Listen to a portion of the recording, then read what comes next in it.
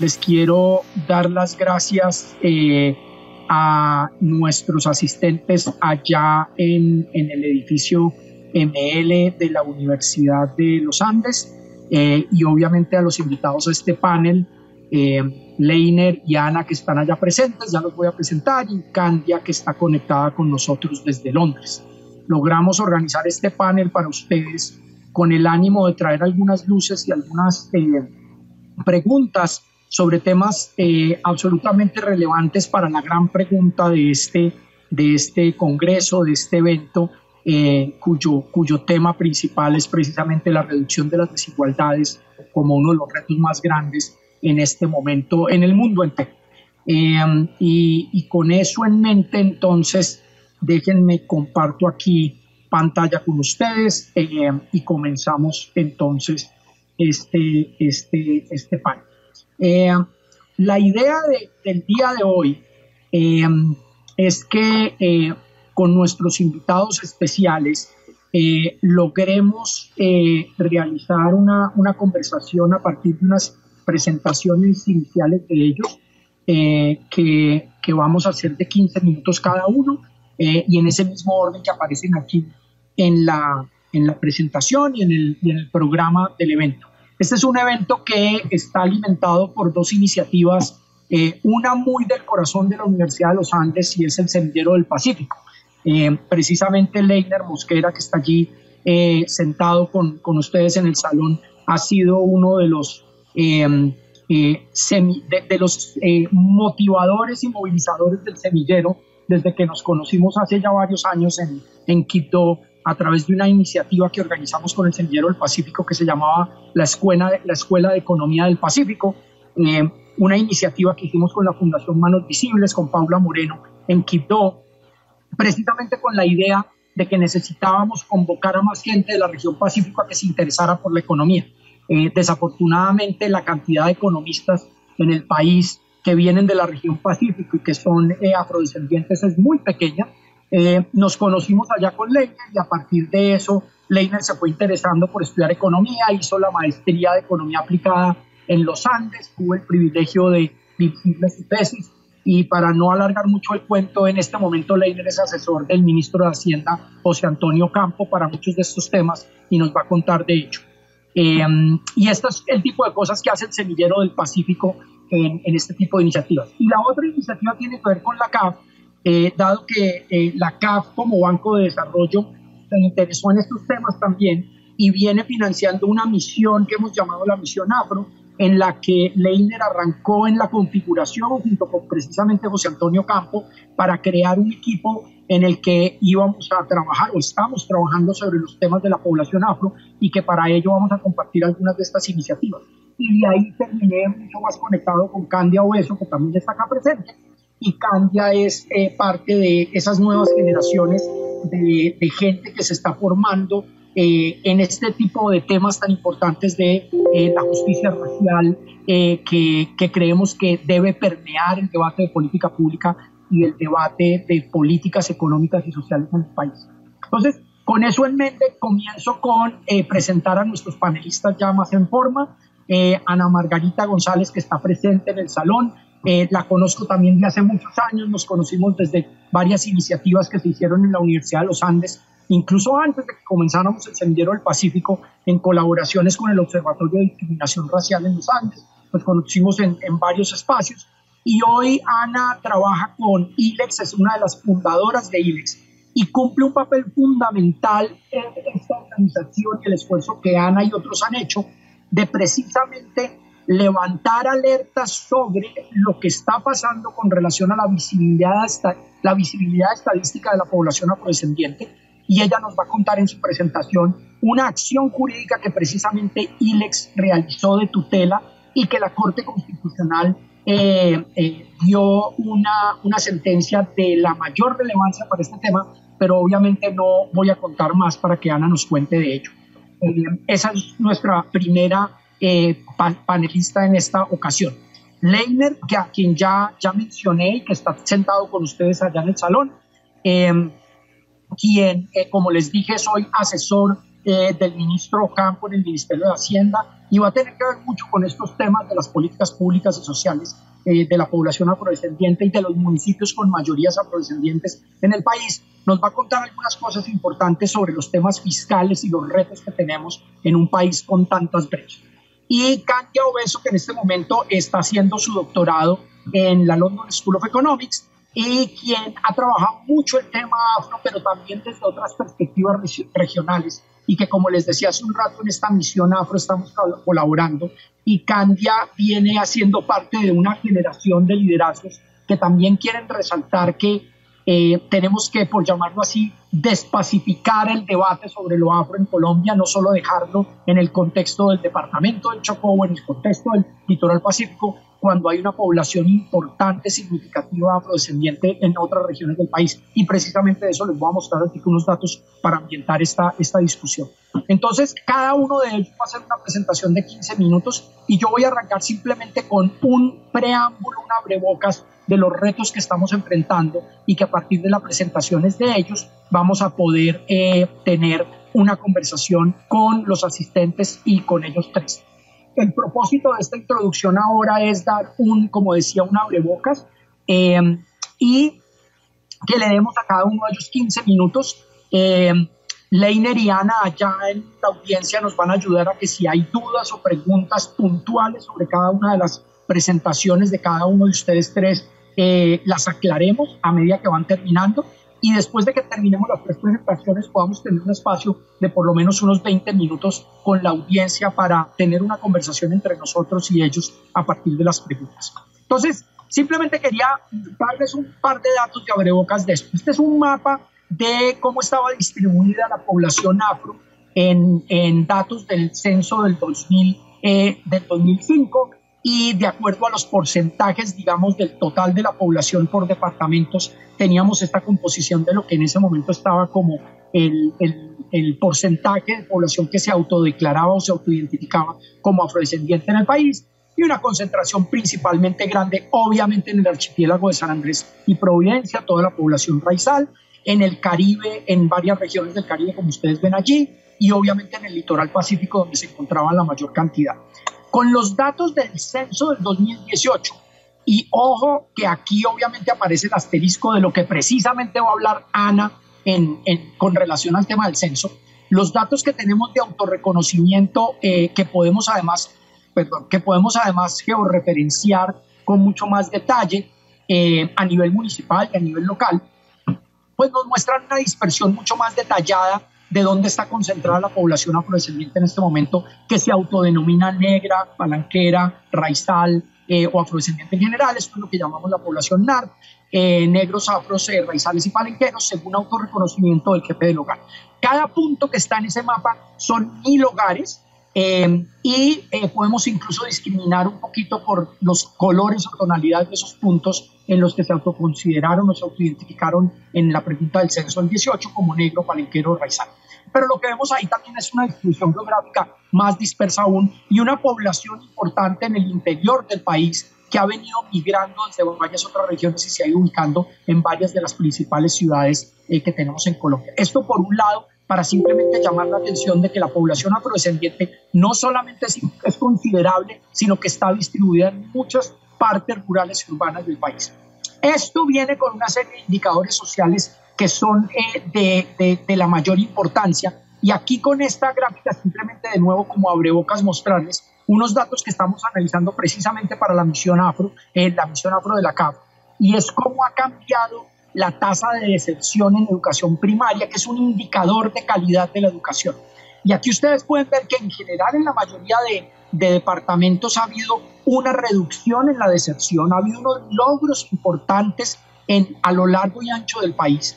Y aquí vemos que los departamentos que tienen mayoría de población afrodescendiente, que son los que están en, en resaltado en negro, Bolívar, San Andrés, Valle del Cauca, Chocó, Nariño, que son los departamentos de más proporción de población afrodescendiente, eh, vemos de todo. Nariño, por ejemplo, una de las caídas más dramáticas en decepción eh, en, en educación primaria, de, de un 9.7% eh, que era una de las más altas en el 2011, a un menos del 1% en el 2018. Bueno, entonces voy a continuar, pero voy a hacer esto mucho más rápido porque no quiero quitarle tiempo a nuestros invitados, simplemente dejarles dos imágenes más de todo eso.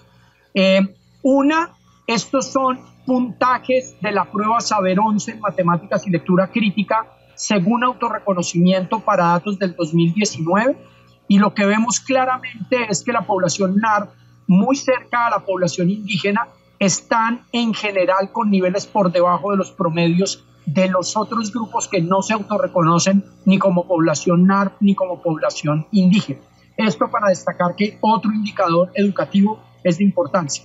Un siguiente ejemplo de la dispersión y las desigualdades es este cambio que venimos observando por departamento en la tasa de mortalidad infantil entre los datos del 2005 y los datos del 2018 de las estadísticas vitales con fuentes del Ministerio de Salud. Lo que ustedes ven en la diagonal, la línea amarilla, significa que si usted está en la diagonal, no ha habido ningún cambio del 2005 al 2018.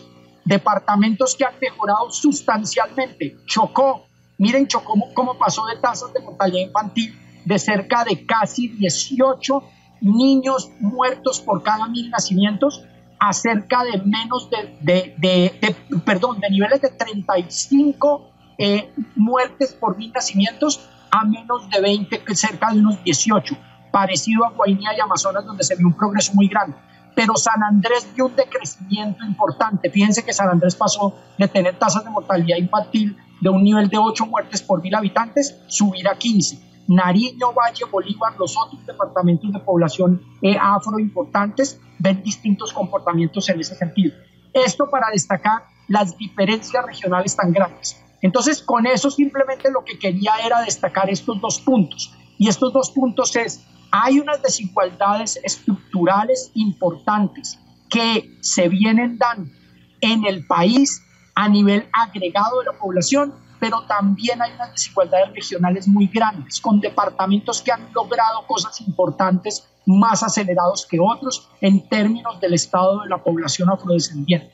Simplemente quiero dejar eso allí y entonces hablar de varios temas que vamos a mencionar acá. Por un lado, el tema de la visibilidad estadística, por otro lado, los retos fiscales que enfrentan los municipios, por otro lado, el tema de la justicia racial, los sistemas culturales y las desigualdades que están asociados a ello, y con eso poder eh, eh, darle una, una, un sentido de conversación a, a, esta presentación. Entonces, Ana, adelante con, con su presentación, tiene la palabra y... Eh, yo voy a poner acá en mi, micro. Adelante, Ana. Gracias, profe. Bueno, muy buenas tardes a todos y a todas. Eh, voy a poner aquí, tengo 15 minutos. Entonces, bueno, este panel está súper interdisciplinario. Eh, yo soy abogada, eh, raro que esté, en Congreso de Economía. Entonces les voy a contar, les voy a contar la historia de, del trabajo que hacemos en ILEX Acción Jurídica y les voy a contar específicamente el trabajo que, jurídico y también de análisis sociológico que hicimos para enfrentar un grave problema de invisibilidad estadística que se derivó del, del último censo eh, que se hizo en Colombia, que fue el censo del 2018. Em, a través de una acción de tutela que presentamos junto con otras organizaciones. Entonces, voy a dividir mi presentación en cinco asuntos. Primero quiero hablarles un poquito de ILEX. Em, y del litigio estratégico, luego de cuáles fueron los problemas del censo, luego voy a hablar de la invisibilidad estadística y sus implicaciones, luego del proceso judicial y sus resultados y finalmente me voy a referir a algunos retos que tenemos en Colombia para superar la invisibilidad estadística de, eh, de la población afrodescendiente. Entonces, primero quería contarles solo brevemente, ILEX Acción Jurídica es una organización de la sociedad civil fundada y liderada por abogadas afrocolombianas.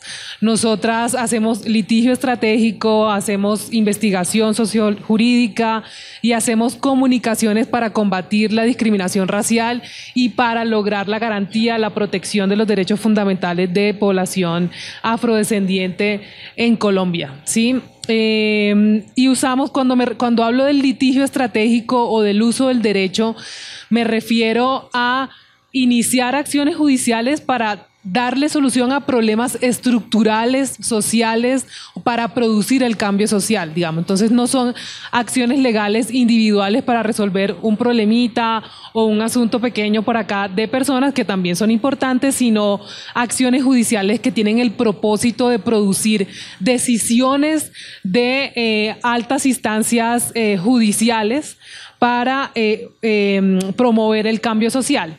Y esta en particular, la que tiene que ver con el censo, fue una acción judicial que interpusimos con respecto a un problema estructural en Colombia y es la invisibilidad estadística y particularmente esta que se derivó de, em, de, la, operación censal de 2018. Entonces ya voy a hablarles de cuál fue el problema que, que se presentó. Resulta que en el censo del 2018 eh, cuando se presentaron los resultados en noviembre del 2019, el DANE presentó unos resultados específicos de población afrocolombiana, negra, palenquera y raizal, en, la, en lo que se evidenció una reducción de casi el 30.8% de la población afrocolombiana con respecto al censo anterior. Entonces, ¿qué pasó? Que en el censo anterior 4.300.000 personas aproximadamente nos habíamos reconocido como afrodescendientes y resulta en el censo del 2005 y resultó que en el censo del 2018 únicamente 2.900.000 personas fueron contabilizadas como tal. Sí, entonces hubo una reducción del 30%. Esa reducción fue consecuencia de un conjunto de factores, tanto internos como externos, en el desarrollo del censo que les voy a exponer eh, más adelante.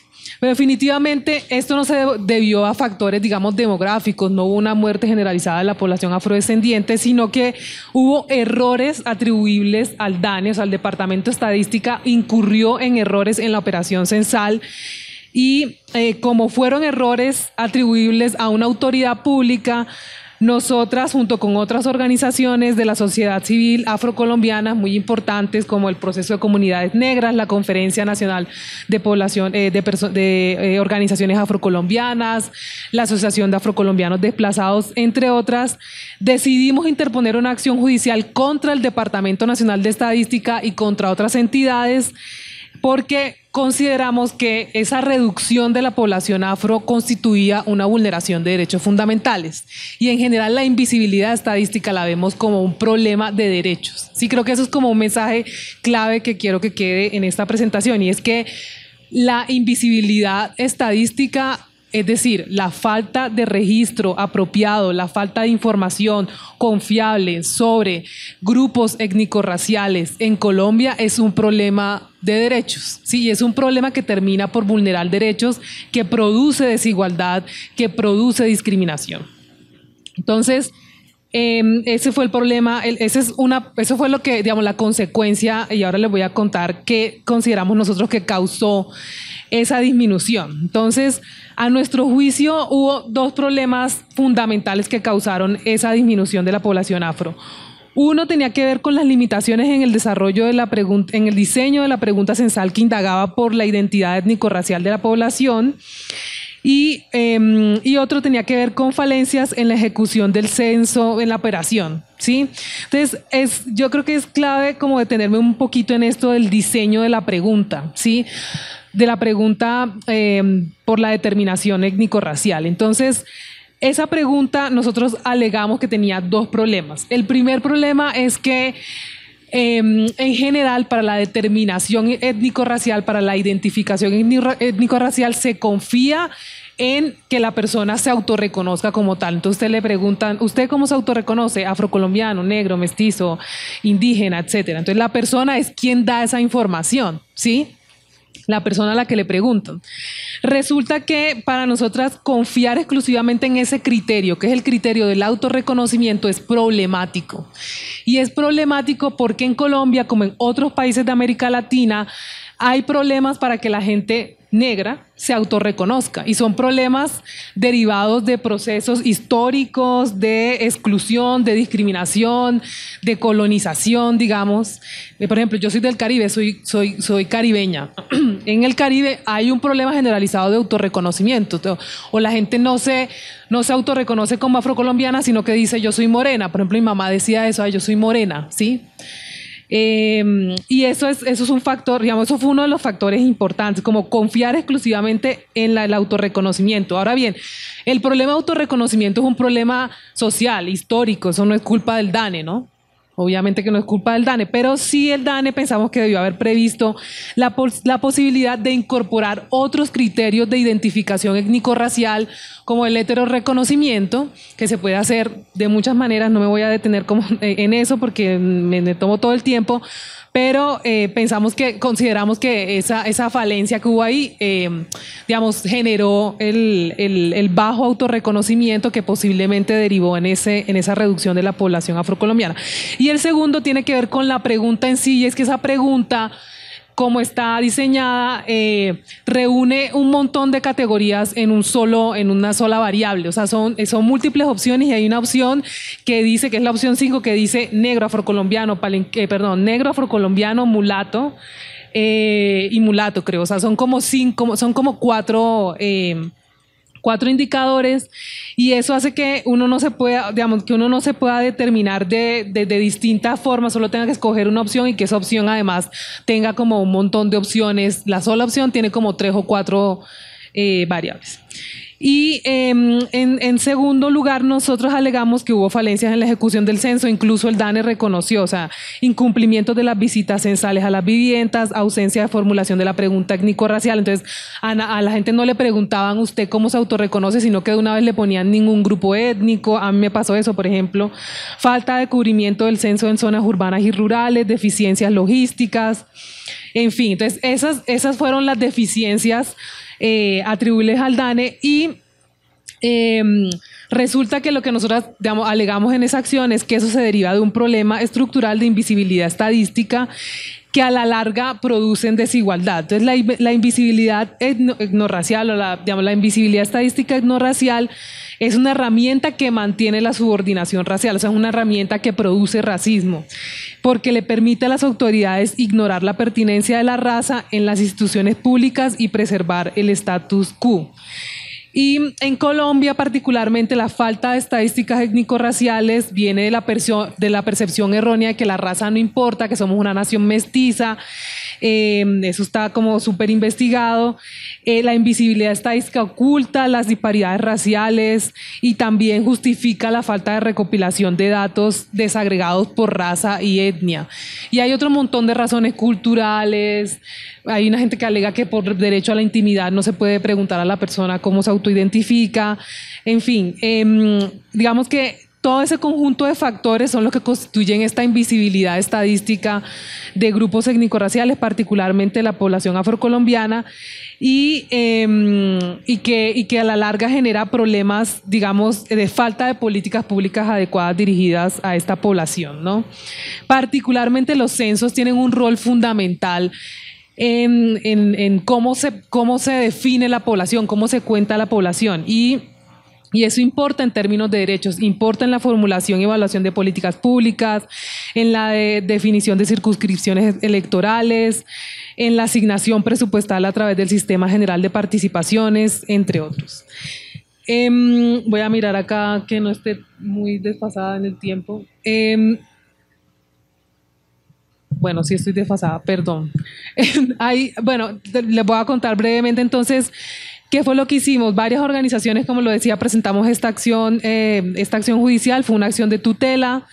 Alegamos que la reducción del, de la población afrocolombiana en el censo vulneraba el derecho a la igualdad y a la no discriminación pues el subregistro, em, digamos, el, subregistro y la consecuencia invisibilización deriva en una discriminación estructural y en suma en la negación del goce de derechos humanos que son garantizados eh, a través de la estructuración de políticas públicas. Alegamos también que se vulneraba el principio de diversidad étnico, étnico racial y de diversidad cultural de la nación colombiana, porque pues básicamente desaparecía, o bueno, no, no desaparecía totalmente, pero se reducía sustancialmente uno de los grupos étnico-raciales eh, importantes pues en la constitución de la nación colombiana. Alegamos la vulneración del derecho a la información, muy importante porque la actividad del DANE eh, trajo información que no era veraz y de la cual se desprendía una ejecución errada, bueno, que se desprendió de una ejecución errada coartando el real conocimiento de la situación de la población y la imposibilidad de su participación para hacer eh, seguimiento a decisiones del gobierno. Y finalmente la vulneración de derechos económicos, sociales y culturales, porque como lo mencioné, contar a las personas es fundamental para la definición de políticas públicas, de políticas sociales, ¿sí? Y si las personas están mal contadas, pues no existen y si no existen, pues no hay políticas públicas adecuadas. Em, y en ese sentido le pedimos al DANE que no usara los resultados del 2018, perdón, al, al, Estado, pues que se cesara de usar los resultados del 2018, que se siguieran usando los resultados del 2005, que para organizaciones afrocolombianas y personas del movimiento afro también son resultados que son problemáticos, pero por lo menos no son tan terribles como estos últimos, que se usara la encuesta nacional de calidad de vida, pero con una base semestral representativa para estimar la población afro que reside en el país y finalmente también solicitamos al DANE que se integrara la en la encuesta nacional de calidad de vida mecanismos de heteroreconocimiento de manera complementaria, lo que les mencionaba ahorita de combinar criterios de autorreconocimiento con heteroreconocimiento.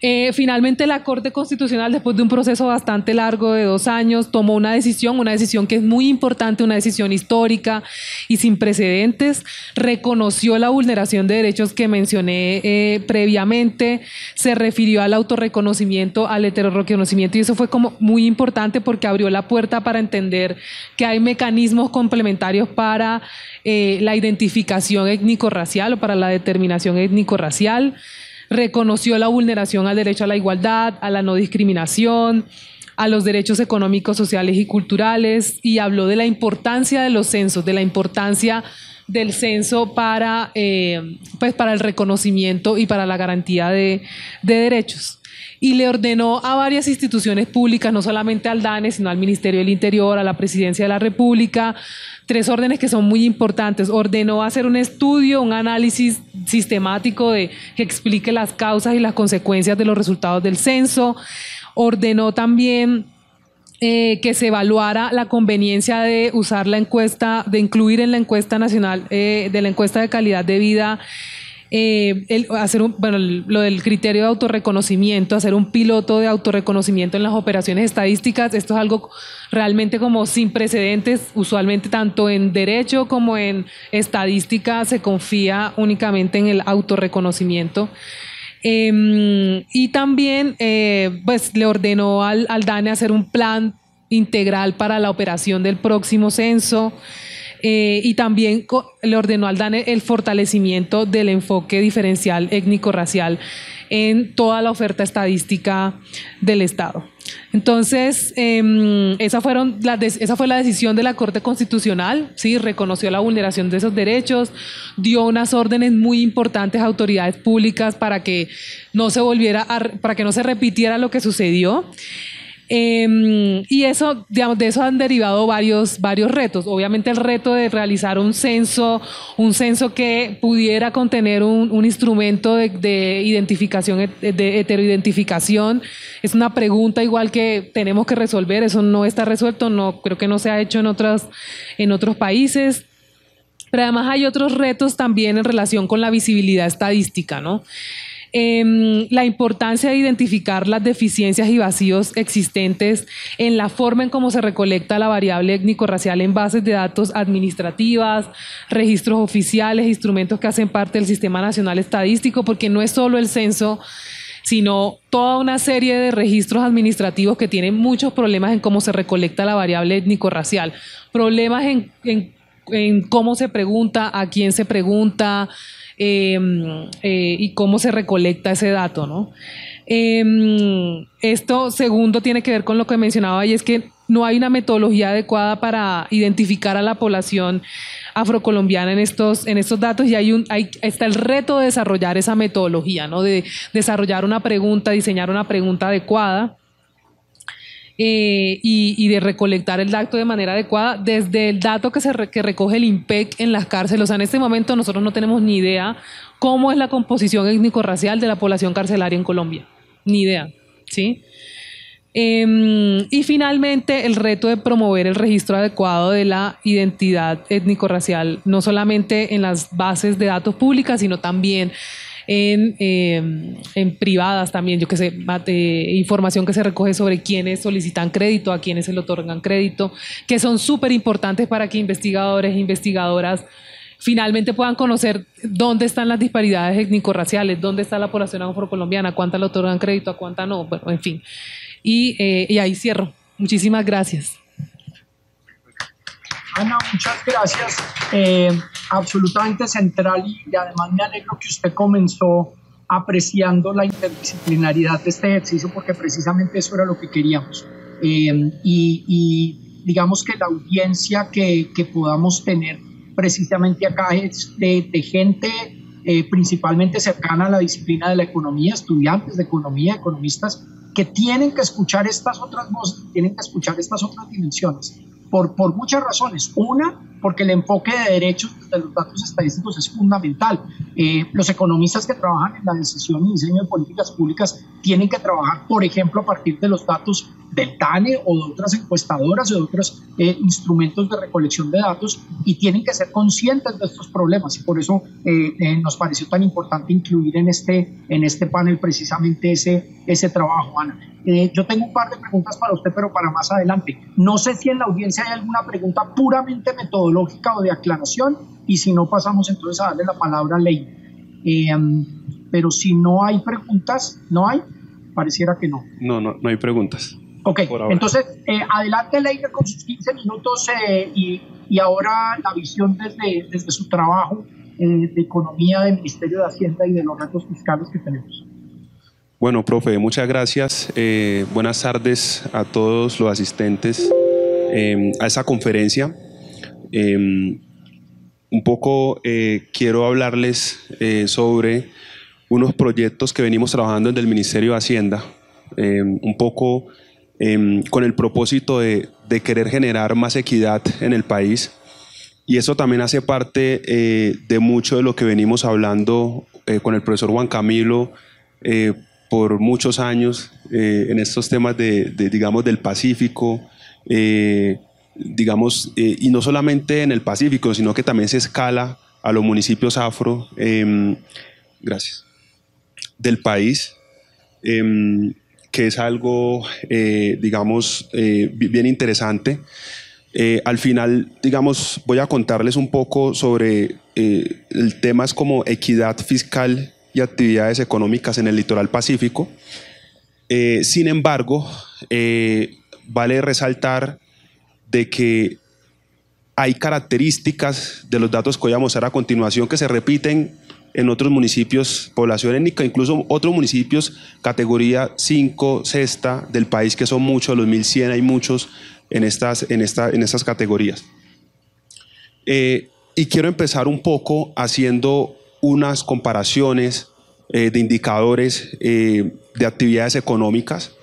en este caso voy a tratar de comparar a la capital del departamento, ¿sí? en este caso, en el caso de Nariño Pasto, con la capital del litoral pacífico, ¿cierto? Sabemos que Pasto tiene varios municipios que consideramos litoral pacífico. El litoral pacífico básicamente son unas características de ubicación geográfica, de población étnica, eh, de cultura, y así más o menos son algunos criterios para determinar qué es litoral y qué no es litoral. Entonces un poco eh, esta gráfica eh, entonces acá vamos a comparar a Pasto con Tumaco y esa gráfica básicamente lo que nos muestra es como esas actividades económicas. Eh, y acá vale la pena mencionar la diferencia grande, una, diferencia grande eh, en este caso de la extracción minera. el mensaje con esta slide es que vemos que Tumaco, que es litoral, sigue teniendo una economía mayoritariamente enfocada a la extracción, ¿cierto? Eh, a la materia prima. Y vemos que eso, y la historia nos ha contado todo el tema de que eso no generó encadenamiento productivo, eso realmente no generó desarrollo en la, en, la región. Y si vamos pasando las otras, las otras eh, eh, capitales, las otras ciudades, vamos a encontrar un comportamiento muy parecido. Miren el caso Buenaventura versus Cali. Buenaventura eh, depende de una buena parte de la extracción, ¿sí? Mientras que Cali casi nada, ¿no? Entonces, em, eh, eso también va a motivarnos la discusión sobre los temas fiscales que, vamos a hablar. Em, eso también debe ser una pregunta que nos debemos hacer. Y la pregunta que nos hemos hecho durante muchos años, ¿cuál debería ser ese modelo de desarrollo? ¿Por qué nos dedicamos todavía a la extracción y a la materia prima? ¿Por qué no pensamos más en una cosa más secundaria, terciaria de servicios? Algo que sea más amigable con el medio ambiente y que genere aún más valor a la economía local, ¿cierto? Eh, lo mismo con Timbiquí versus Popayán, ¿cierto? Aquí puedo haber estado eh, Popayán Guapi o Popayán Timbiquí, que son muy parecidos en tamaño y en población, eh, pero en ese ejercicio está Timbiquí y miren Timbiquí todo lo que depende de la extracción minera eh, y muy poco de lo otro, mientras que Popayán sí tiene un poco más de diversificación de su economía. En el caso de Quibdó, pues sabemos que Quibdó es la capital del Chocó, ya es un departamento y por más por, por un tema, normalmente ese tipo de comparaciones las hacemos con Medellín, pero, pero Medellín termina siendo muy diferente y es otra cosa. Entonces más bien quise como mostrarle versus Cali.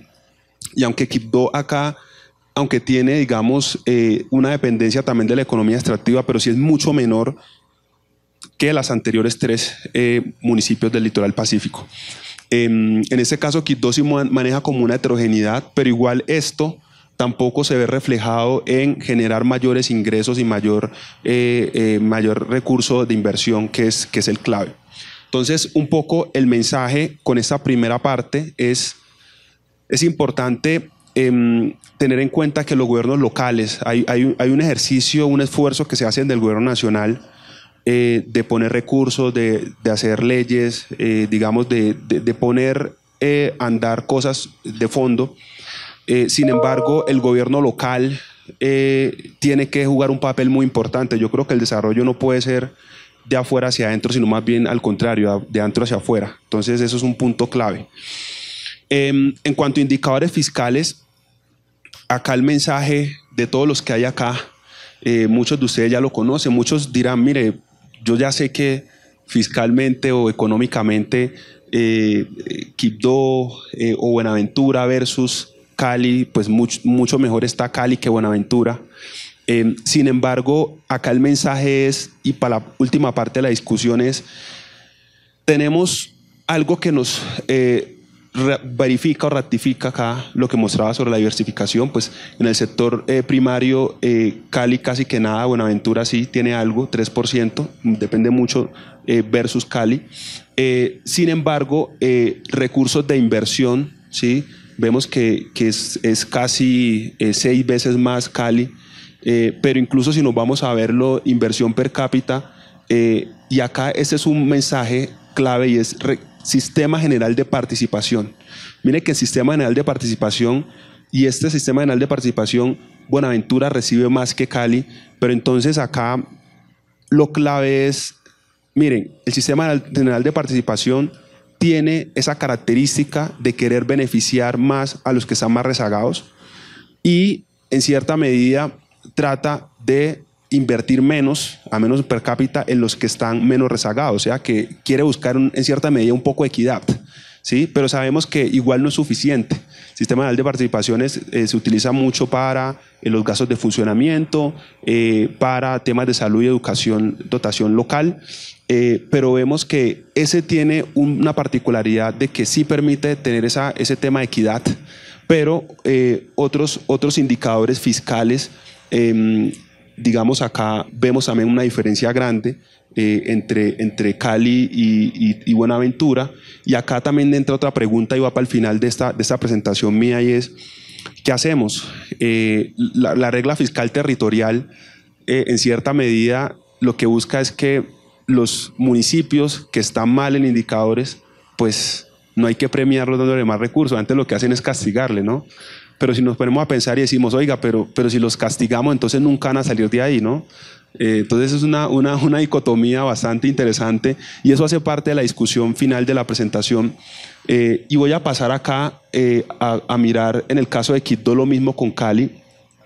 este, este indicador de la, del límite de ley 617 de 2000, básicamente lo que dice, mire, si usted es un municipio categoría 2 o 3, usted no debería estar gastándose más del 70% en recursos de inversión. Em, y también eso lo limita, si usted se pasa ese indicador, en el caso de, de, de KIP2 está cumpliendo para esa medición, si usted se pasa de ahí, eh, lo que pasa es que lo castigo, ¿no? lo sanciono. Entonces, en cierta medida, eh, en este caso, Quibdó está en el 57%, está bien, Cali eh, está en el 37%, o sea que Cali lo que podemos ver es que tiene una mejor, un mejor gasto, un mejor uso de sus finanzas y un mejor, una mayor responsabilidad, llamarlo así, fiscal que en el caso de Quibdó y no vamos a ir yendo igualito a los otros, va a tener un comportamiento muy parecido. Pero digamos, lo clave, insisto, de la presentación no es tanto mostrar que el uno está mal y el otro está bien, eh, que eso seguro muchos ya lo saben sin ver los datos, ¿sí? sino que más bien quiero llegar a este punto, quiero gastarme los minutos que me quedan en este punto, y es el debate. Nosotros eh, desde el Gobierno Nacional eh, venimos trabajando bajo el liderazgo del, del ministro José Antonio Campo una reforma tributaria territorial. ¿sí? Eh, sabemos que la reforma tributaria que se está discutiendo ahora en el Congreso, que se radicó la ponencia ayer, eso es a nivel nacional, es más global, más eh, que busca, eh, digamos, un impacto, digámoslo así, más macro. pero la reforma tributaria territorial sí se enfoca más en las finanzas territoriales de los municipios. Ahí lo que queremos en primera medida es querer, digamos, simplificar el sistema tributario.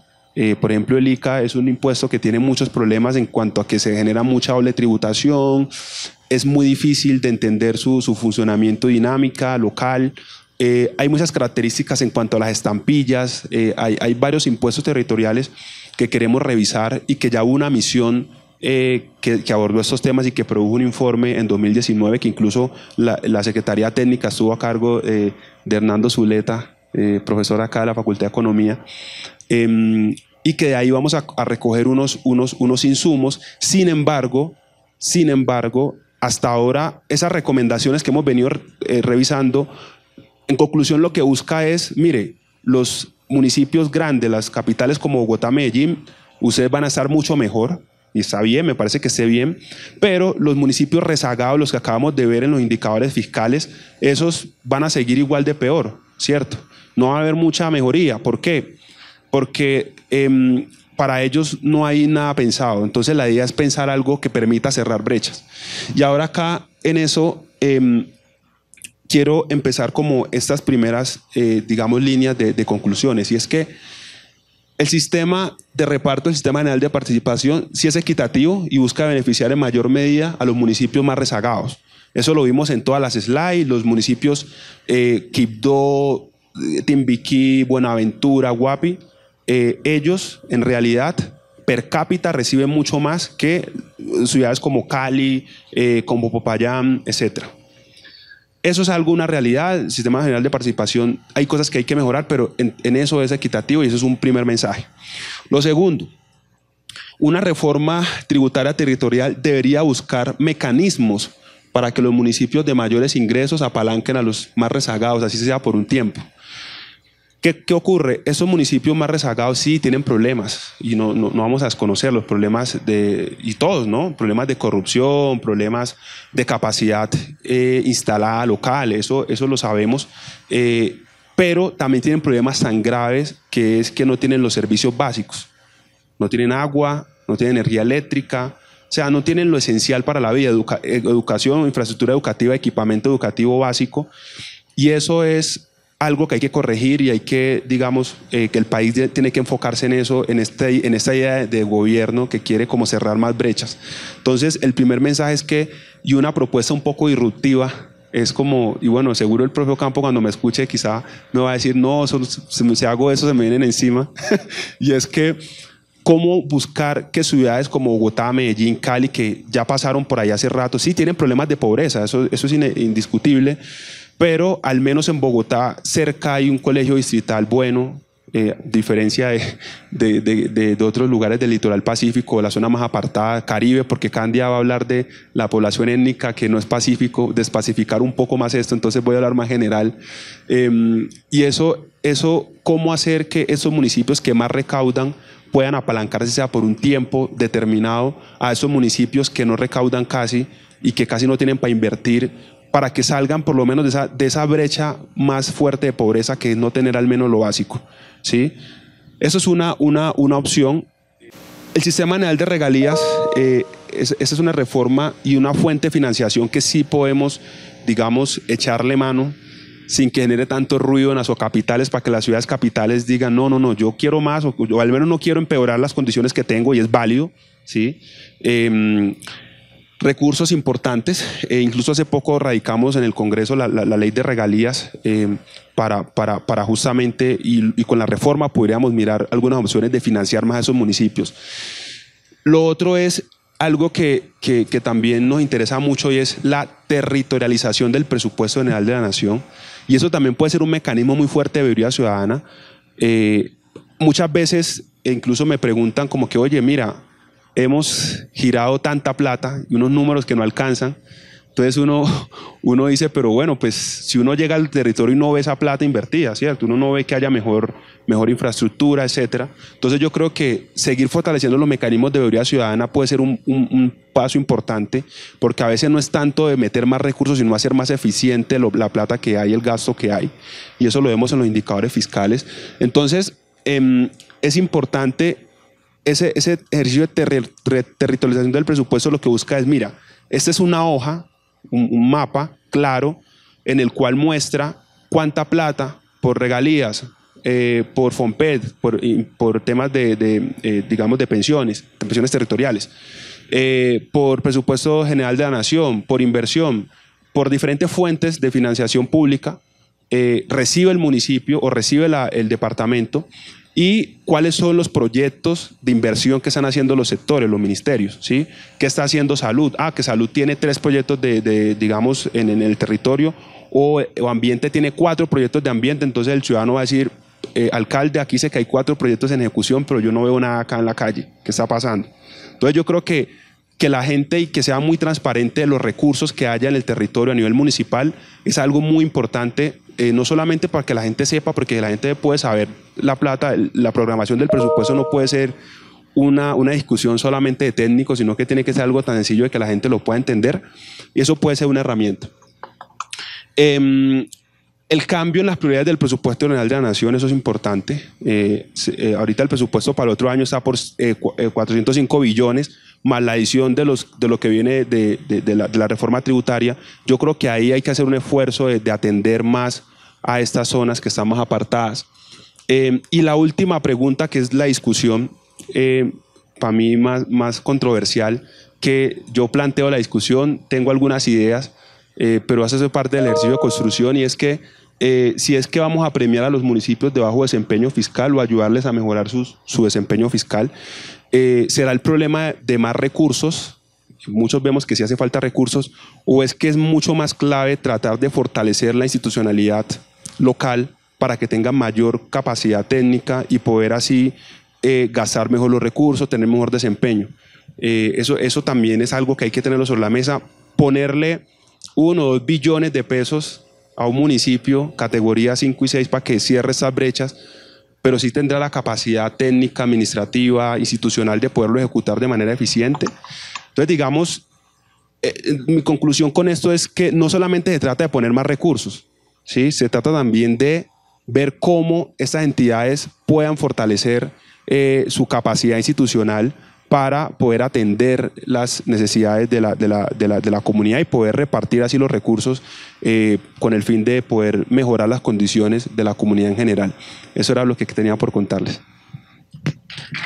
Listo, vamos con Candia. Bueno, perfecto. Entonces, como les decía, mi presentación eh, la voy a concentrar básicamente en Cartagena, que es el contexto del cual tengo mayor conocimiento. Eh, ver, listo. Entonces, bueno, voy a tomar como referencia esta imagen, como decía Ana ahorita, yo soy comunicadora social y todos mis análisis son más que todo cualitativos. Entonces, si digo alguna, si leo alguna cifra incorrecta, ya ustedes entenderán. Pero eh, me gusta este trabajo que publicó el profesor Camilo Rey en sus redes sociales, porque como pueden observar en la gráfica, en la imagen, eh, básicamente la diferencia entre el censo de 2005 y 2018 invisibilizó a la población eh, negra, a la población NAR en la ciudad de Cartagena, sobre todo en las localidades que vemos eh, resaltadas en negro. básicamente el autorreconocimiento de 2005 a 2018 pasó del 36% al 21% y el sector más afectado fue el barrio Olaya, como pueden ver, que pasó del, 55% al 13% de un censo al otro. Como lo decía también Ana en su presentación, básicamente esta invisibilización estadística pues, afectó la realización de los derechos sociales y económicos de la población negra, una población además que ya se encuentra eh, vulnerada eh, y voy a presentar algunos datos, eh, unos indicadores sociales de las condiciones que tienen las comunidades negras en la ciudad de Cartagena. En ese sentido, el último informe de calidad de vida de Cartagena, como vamos, muestra que, por ejemplo, los hogares cartageneros en condición de pobreza multidimensional se concentran principalmente en el margen de la Ciénaga de la Virgen, las faldas de la Popa y la Loma del Albornoz, que son básicamente los barrios donde vive la población NAR, es decir, Hora Herrera, Nelson Mandela, El Pozón, La María y La Esperanza. Eh, los colegios eh, ubicados en la localidad 2, Ola Herrera y El Pozón, el 83% de estos colegios están en categoría C y D, también como lo mostraba el profesor Juan Camilo en su presentación, las más bajas según la clasificación del ICFEX. Los casos de mortalidad infantil, así como embarazo adolescente, se registran eh, con mayor proporción también en estos barrios. La tasa de homicidios, que en el 2020 aumentó considerablemente en la ciudad, se reportan, la mayor, la mayor parte de estos casos se reportan también en estos mismos barrios, La Herrera, El Pozón, El Sol Mandela, Arroz Barato y La Boquilla, el corregimiento de La Boquilla, que es una comunidad también afrodescendiente eh, de la ciudad de Cartagena. Los casos de violencia intrafamiliar, así como los casos de delitos sexuales, que se reportan en su gran mayoría también corresponden a estas zonas habitadas por comunidades eh, NARP en la ciudad de Cartagena. Y también, digamos, hacemos un doble clic a la situación de la zona insular, que básicamente corresponde a la península de Barú y a la isla de Tierra Bomba, que son dos de los, que son los dos principales destinos de sol y playa de la ciudad de Cartagena vamos a encontrar también, de acuerdo con datos de 2018 de Cartagena, cómo vamos, el índice de pobreza eh, por NBI de estos corregimientos estaba en casi el 97%, tres veces mayor que el índice de NBI de la ciudad de Cartagena para ese año.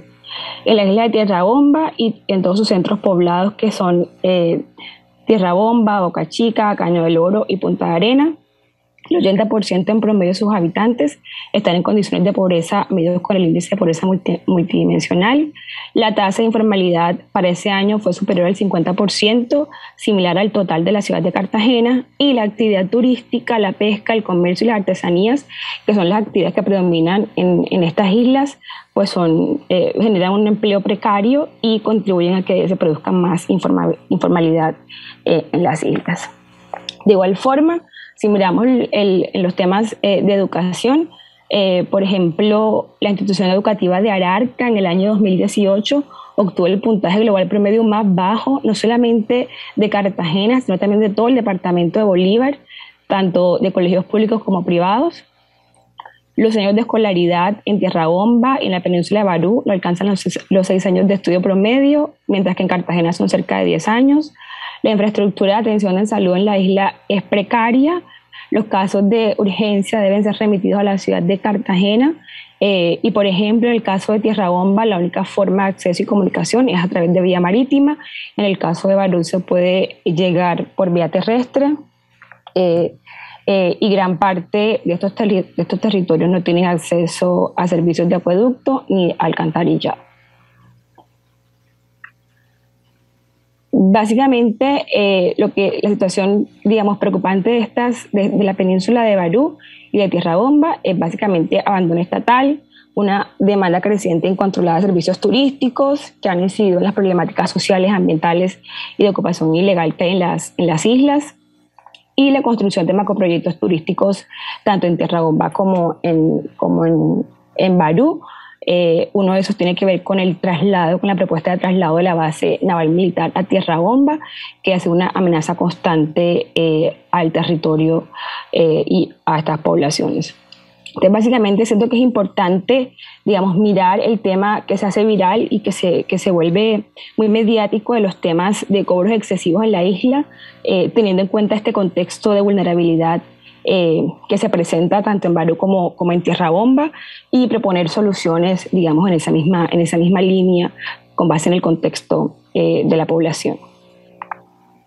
Otro doble clic que me parece también importante realizar tiene que ver con el corregimiento de la boquilla, que experimenta un conflicto socioambiental relacionado con la pérdida territorial eh, que tiene implicaciones en la cultura, en el medio ambiente y en las formas tradicionales de producción de los boquilleros.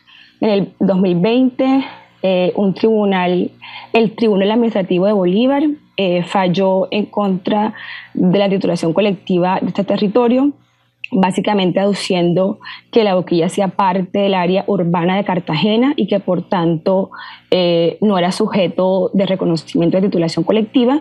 Y a raíz de esto básicamente se han abierto las puertas para las construcciones ilegales en zonas de bajamar, de construcciones de cinco o seis pisos eh, en, cemento que antes no existían y también se ha abierto la puerta a la venta de predios por parte de algunos raizales. Además de esto, la isla cuenta eh, con un problema de embarazos tempranos en adolescentes, un creciente consumo de drogas, eh, de pandillas, vinculación de jóvenes a, a organizaciones al margen de la ley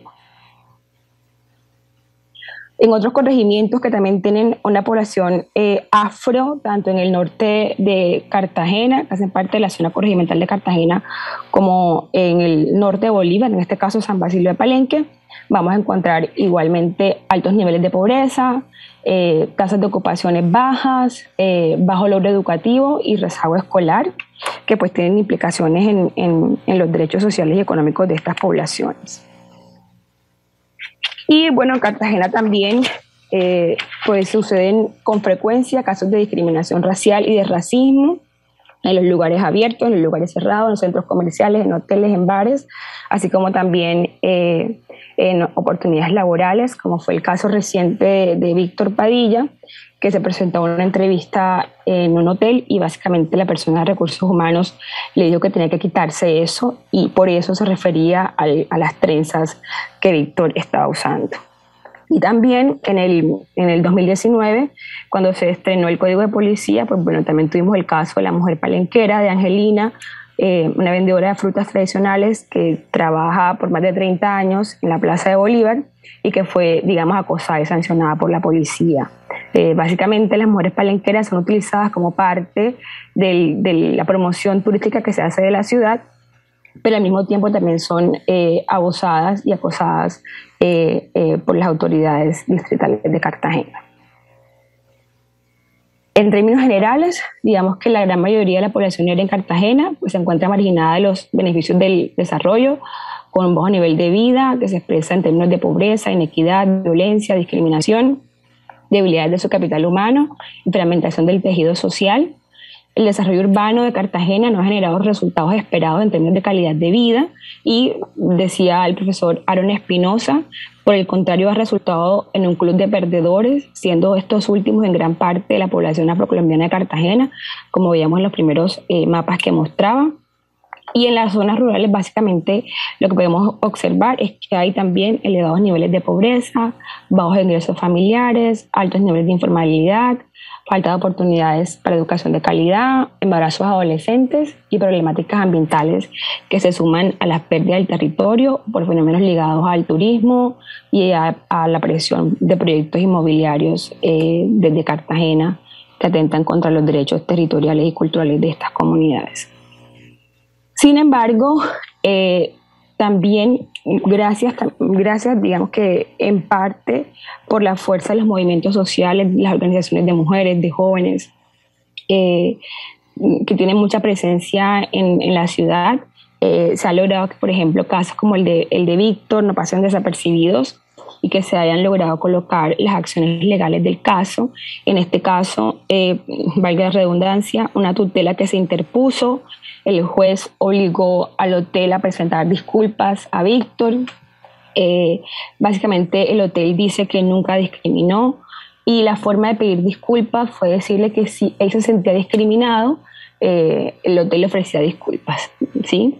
Eh, Víctor dice que no se siente satisfecho con esa respuesta del hotel y digamos que el proceso legal sigue, pero básicamente sentar como un precedente eh, y decir estos actos no se tienen por qué repetir en una ciudad con la, con la historia de Cartagena. Y en el caso de, de las palenqueras, pues se realizó una marcha en ocasión del incidente que se tuvo con la señora Angelina, básicamente también como para criticar ese doble discurso de que sí somos patrimonio, pero no solamente para adornar la ciudad, sino también eh, somos sujetos de derechos y la alcaldía y las autoridades tienen que comprometerse, digamos, con su, con su cumplimiento y con su, con su consecución.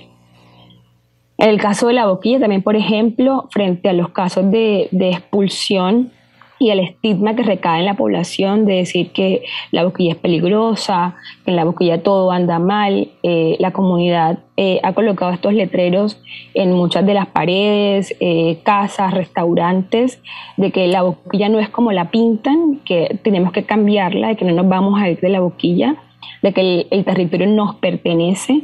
y son, digamos, estas pequeñas actos de resistencia que se están dando desde las comunidades para un poco aminorar y hacerle paso eh, a las situaciones antes mencionadas. Y finalmente también creo que vale la pena eh, mencionar eh, cómo también las, las comunidades están trabajando y están preocupándose por sacar adelante iniciativas sobre todo de turismo cultural, turismo étnico, comunitario, etnoturismo, enfocado sobre todo hacia el emprendimiento participativo que se está dando con la intervención de las comunidades para generar empleos e ingresos y consolidar los destinos desde una visión local una visión desde el territorio y una visión desde la cultura de las comunidades. Entonces tenemos, por ejemplo, iniciativas de, turismo cultural en, en, La Boquilla, en San Basilio de Palenque, en María la Baja también, que se conecta, digamos, con toda la historia de violencia que ha sufrido con las tejedoras de Mampuján. Y además eh, hay iniciativas en torno a la recuperación de los saberes y tradiciones eh, de estas comunidades. Eh, está todo el trabajo que viene adelantando la Fundación Tambores de Cabildo en La Boquilla, el proceso que se viene haciendo para la recuperación y salvaguarda de la champeta, todo el trabajo también que está haciendo desde San Basilio de Palenque alrededor del Festival de Tambores, eh, que va más allá, digamos, de la presentación de los grupos musicales, que incluye también medicina tradicional, peinados eh, y, por supuesto, todo el fortalecimiento de la lengua palenquera. Eh, y esto es importante porque, digamos, que la cultura afrodescendiente, eh, digamos, tiene esa posibilidad de ampliar la comprensión política y social de lo negro en Colombia eh, y combatir, digamos, todas estas actuaciones y todos estos males eh, incrustados en nuestra sociedad, como lo son el racismo y la discriminación y la falta de oportunidad a las que están sometidas las comunidades afrodescendientes. Unos retos y oportunidades que identifiqué en el marco de la Ley de Comunidades Negras, que me parece, me parece que vale la pena mencionar en estos minutos que ya me pasé. Eh, pero bueno, el caso del componente de territorialidad, el capítulo tercero de la ley, eh, importante pues todo el tema de defender el territorio de la, de la boquilla, de la titulación colectiva, eh, de poder destinar, ahora que se ha vuelto parte de la política de este gobierno, predios incautados o extinguidos producto de actividades ilícitas de narcotraficantes, sobre todo en las zonas insulares, en, en, las islas de Rosario. Eh, el componente de identidad cultural, siento que se ha avanzado, eh, se ha avanzado en gran medida en la ciudad de Cartagena. Hay cerca de 25 instituciones educativas focalizadas como en educativas, más de 2.400 docentes capacitados en cátedras de estudios afrocolombianos, hay una red de docentes y maestros en educadores consolidados, y se han adelantado un sinnúmero de iniciativas tendentes a fortalecer, eh, por ejemplo, la lengua palenquera en la ciudad de Cartagena y también a, combatir racismo en la escuela a través de campañas como la que se hizo de no machistas racistas. Em, finalmente también hay unos retos y oportunidades eh, desde, el, componente de participación. Hay unos acuerdos eh, que no se han, han logrado reglamentar eh, tanto para la ciudad de Cartagena como para el departamento de Bolívar. Eh, y que hoy representan una oportunidad, digamos que para seguir garantizando la protección y los derechos de las comunidades afrodescendientes en el Caribe colombiano. Y, y, bueno, solamente como, como a modo de reflexión final, eh, digamos, sería lograr que, que parte de, de, los desafíos que tiene el, el Estado colombiano van muy ligados con la reglamentación e implementación de la Ley 70 del 93, como le mencionaba, el Acuerdo de Paz, eh, los Objetivos del Desarrollo del Milenio, eh, del Desarrollo Sostenible, perdón, y el diseño internacional de, los afrodescendientes. Y como decía eh, Leiner, todo esto con una, una perspectiva étnico-racial, pero también muy importante regional, eh, que se acorde a, los diferentes, a las diferentes realidades y contextos de las comunidades negras, eh, no solamente del Pacífico, sino también del Caribe colombiano. Eh, y bueno, ya con esto termino. Muchas gracias. Simplemente quería darle las gracias a los asistentes y unas gracias muy especiales a, a a Ana y a, y a Leiner porque creo que trajimos distintas perspectivas, distintos lentes, distintas eh, eh, eh, disciplinas, obviamente, a, las preguntas generales que nos tenemos que hacer en el país sobre, sobre estas desigualdades que tienen que ver con lo jurídico, con los derechos, con lo estadístico, con lo económico, y por esa razón, obviamente, ponerlas todas dentro, de la, dentro de la perspectiva del, del, del Congreso eh, de Economía Colombiana y de, y de esta conferencia de Naciones Unidas y de White. Pero de nuevo, darle las gracias a nuestros tres panelistas y, y, darles un aplauso desde acá virtual y a nombre de los asistentes eh, por sus presentaciones.